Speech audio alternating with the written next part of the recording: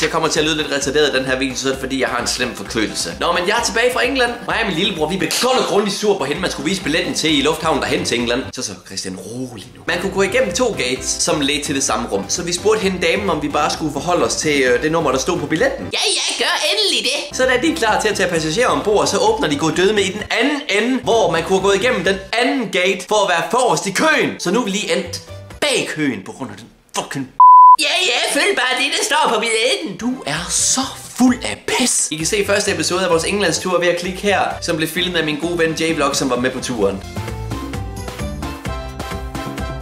Hej alle sammen og velkommen tilbage til RC-kanalen, hvor jeg, Lord Quizzen, bringer jer en ny episode af Kendte YouTube. Nå, men i dag der har vi Albert Dyrlund i studiet, som sidder i nok den mest pæneste opryddet stue, jeg nogensinde har set. Du skal ikke komme her og fortælle mig, at den stue ikke lignede lort, før du skulle filme, Albert. Og forresten, jeg vidste ikke, du spillede saxofon.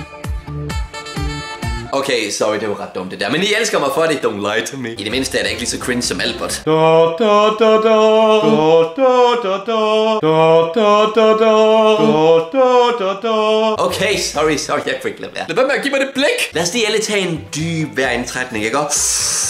Det her det er det dummeste, man gør, når nogen de er pissed af? Og man skal ikke fortælle dem, at de skal slappe af, fordi så får man et dask i hovedet, det ved jeg alt om. Albert skal i hvert fald falde ned, efter at hans sang er blevet gjort til en film. Vi skulle jo nødt have, at han går op på sin sofa og hopper ned og falder for opmærksomhed, fordi øh, ja, det vil jo ikke være første gang, vel? Ej, det er gas. Shut up, boy. Men i hans video, der klager han over, at Sony ikke vil lade hans sang være med i filmen, fordi der ikke var nok emojis med. Bare gør ligesom Jack Films og snak lort om filmen i et par måneder, og så får du en invite til premieren. Altså, jeg kan bekræfte, at det virker, fordi jeg har brugt lang tid på at lave sjov med Splayers, og alligevel så vælger Splay at give mig en invitation til guldtuben. Det der med at gå ovenpå og spørge Miley Cyrus om hjælp, det, det kommer altså ikke til at give brud. Det er dig, der kender alle emojisene jo. Nu skal du heller ikke være hård ved hende, vel? Smukke kvinder skal respekteres. Husk nu, det er Albert. Eller...